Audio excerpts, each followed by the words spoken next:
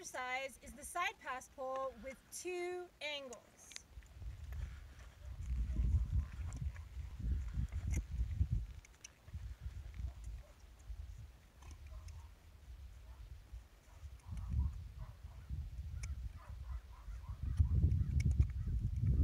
First angle is a turn on the forehand.